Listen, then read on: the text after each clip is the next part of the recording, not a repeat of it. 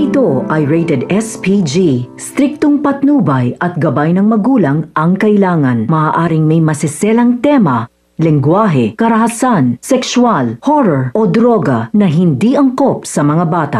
Matapos ngang makapag-usap ni PGA, Melody at ng mga bata, ay lumabas na nga si Melody kasama ni Norma at Pepita. Agad ngang sinabi ni Pepita na halatang apektado si Melody sa nagawang announcement ni Sir PGA. Samantalang nang biglang dumating si PGA, ay nagpaalam agad si Melody at sinabing aalis na ito. Halatangang iniiwasan ang presidente.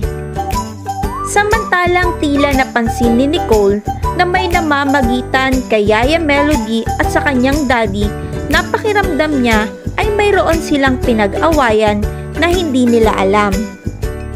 Sa kabilang banda naman ay kinausap ni PGA si Melody tungkol sa nangyari. Tinanong niya nga ito kung bakit tila iniiwasan siya ni Melody. Sinagot naman ni Melody na marami lamang siyang gagawin. Sa paglalim ng kanilang pag-uusap, ay ipinaliwanag na ni PGA kay Melody na ang pag-aming kanyang ginawa ay para sa kabutihan ng lahat. Dahil sinabi nga nito na maaaring maging circus ang buhay ni Melody kung sakali ngang magkatuluyan sila at maaari ding madamay ang buong pamilya nito.